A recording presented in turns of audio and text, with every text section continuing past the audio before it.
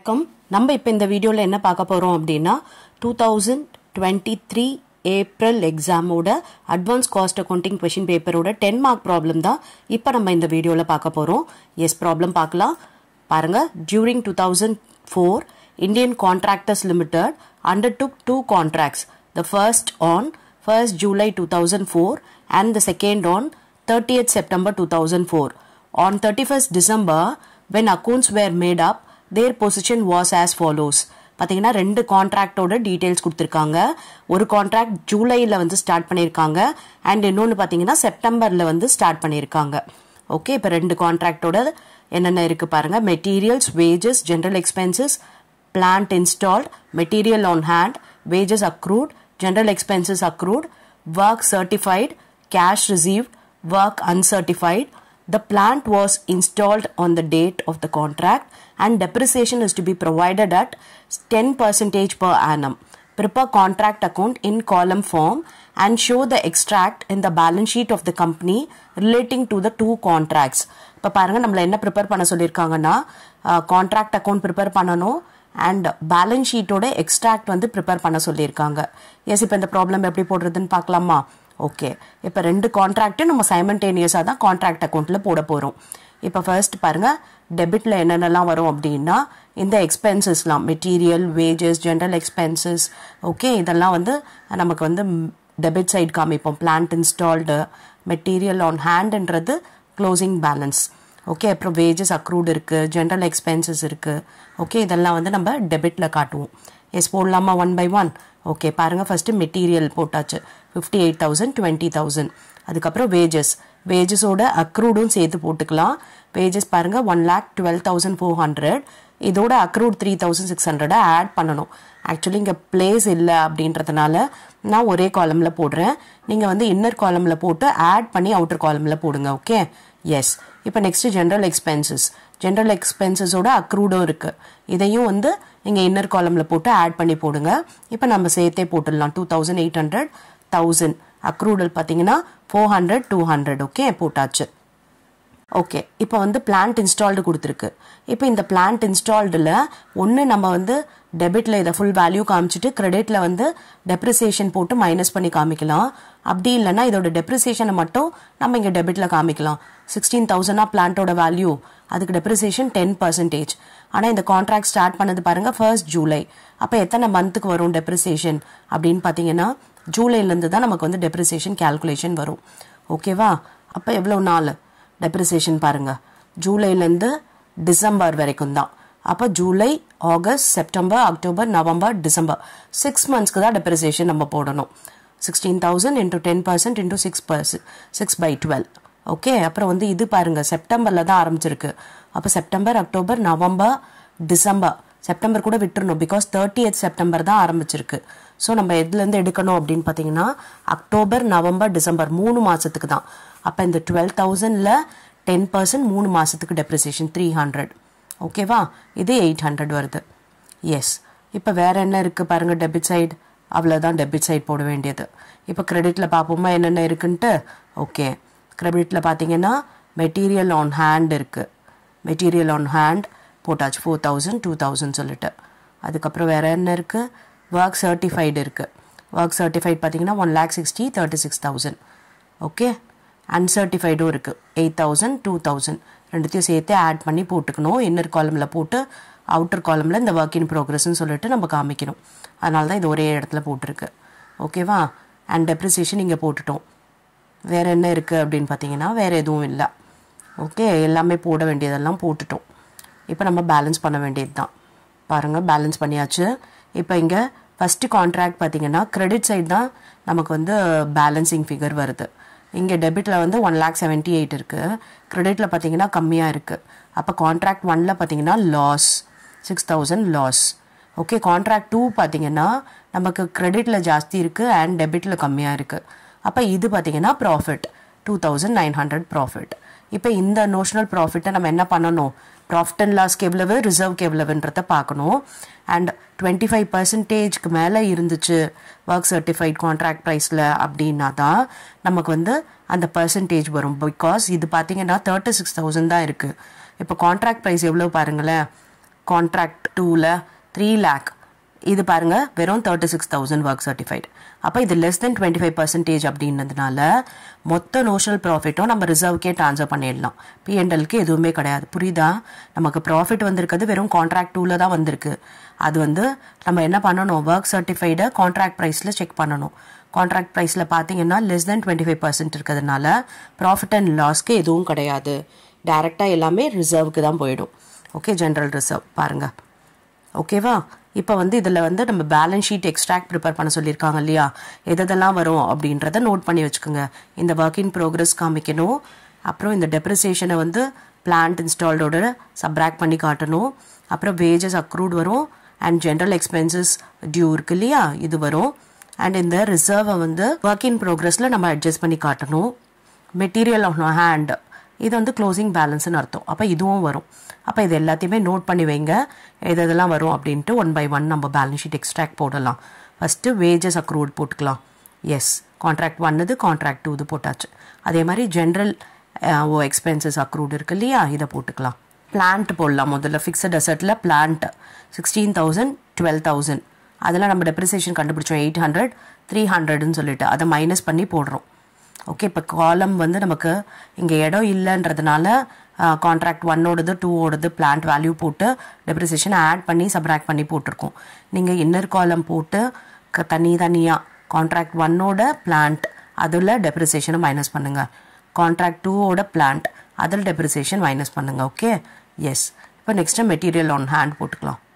Material on hand கொடுத்துருக்காங்க பாருங்கள் four thousand two thousand அதை அப்படியே போட்டுக்கலாம். இப்போ ஒர்க் இன் ப்ரோக்ரஸ் போடலாம். ஒர்க் இன் ப்ரோக்ரஸ் இப்போ இருந்தது இல்லையா? நம்ம ஒர்க் சர்டிஃபைட் அன்சர்டிஃபைட் அது ரெண்டுத்தையும் போட்டுரும். ஒர்க் இன் ப்ரோக்ரஸ் ஓகே அதோட டோட்டல் போட்டாச்சு. One lakh sixty eight and thirty eight அதாவது ஒர்க் சர்டிஃபைடோ அன்சர்டிஃபைடோ ஆட் பண்ணி போட்டாச்சு. இப்போ இதுலேருந்து நம்ம என்னென்னலாம் அட்ஜஸ்ட் பண்ண போகிறோம் அப்படின்னா கேஷ் ரிசீவ்டுன்னு வந்து சப்ராக்ட் பண்ணணும். கேஷ் ரிசீவ்ட் பாருங்கள் one lakh twenty twenty seven thousand அது மட்டும் இல்லாமல் நம்ம ரிசர்வ் இருந்தது இல்லையா டூ தௌசண்ட் நைன் ஹண்ட்ரட் அதை மைனஸ் பண்ணணும். அப்போ டூ தௌசண்ட் ஃபைவ் நைன் ஹண்ட்ரடை மைனஸ் பண்ணோன்னா நமக்கு two lakh three thousand hundred கிடைக்குது. இப்போ இதில் வந்து நம்ம இந்த கேஷ் ரிசீவ்டை மைனஸ் பண்ணுவோம். ஓகே மைனஸ் பண்ணோன்னா ஃபிஃப்டி சிக்ஸ் தௌசண்ட் ஹண்ட்ரட் வருது. ஓகே அது மட்டும் இல்லாமல் நமக்கு கான்ட்ராக்ட் ஒன்னில் லாஸ் வந்தது இல்லையா சிக்ஸ் தௌசண்ட் அந்த லாஸை இங்கே காமிக்கிறோம். ப்ராஃபிட் வந்திருந்தது அப்படின்னும் போது நம்ம இங்கே காமிக்கணும். ஓகே அந்த ப்ராஃபிட் எல்லாம் ரிசர்வ்க்கு போனதுனால தான் இங்கே போட்டு மைனஸ் பண்ணியிருக்கோம். ஒருவேளை ப்ரீஎண்டலுக்கு ட்ரான்ஸ்ஃபர் பண்ணியிருந்தோம்னா அதை இங்கே காட்டணும்.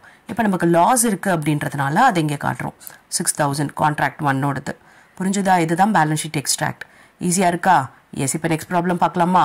ஓகே இப்போ இந்த ப்ராப்ளம் பார்க்கலாம். Product A is obtained after it passes through three distinct process. Prepare process account from the following.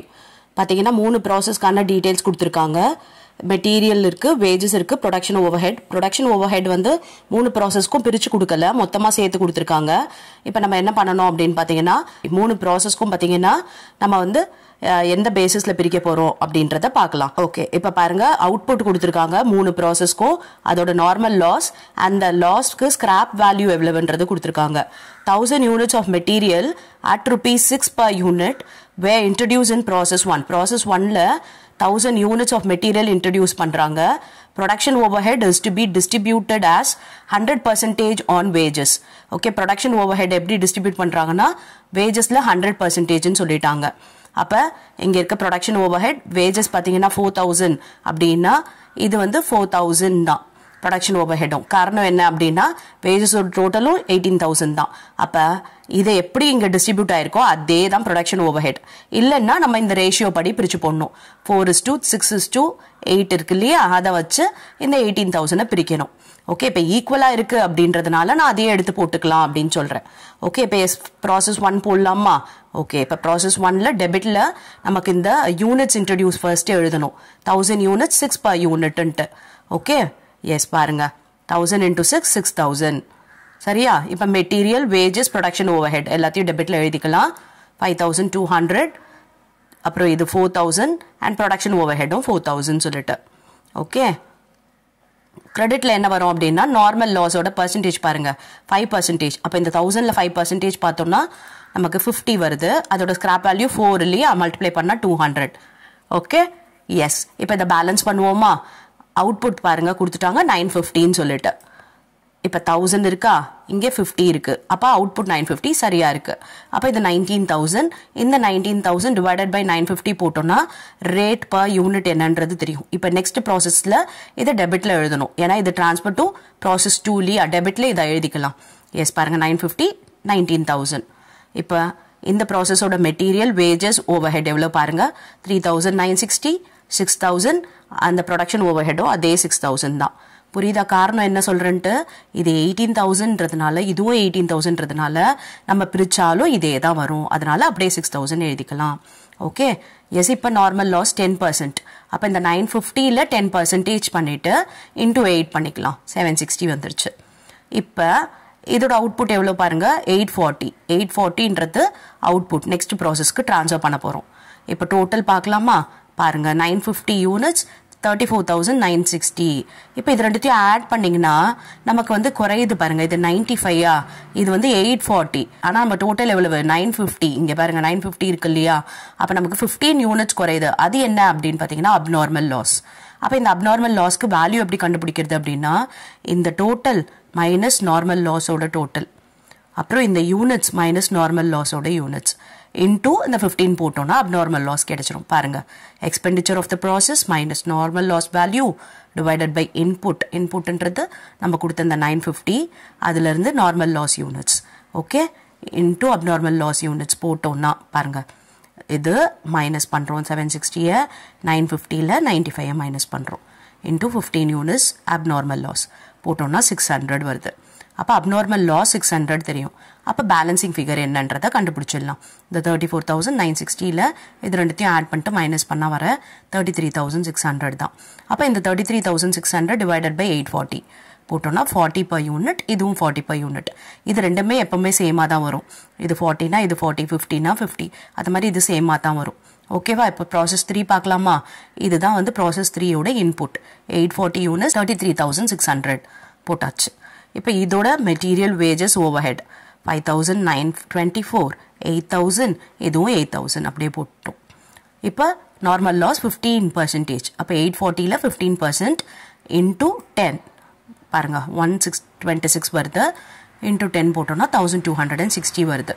இப்போ இதோட output எவ்வளவுனா seven fifty units finish stock இப்போ அடுத்த ப்ராசஸ் நமக்கு இல்லை அதனால இங்கே ஃபினிஷ் ஸ்டாக்னு எழுதுறோம்.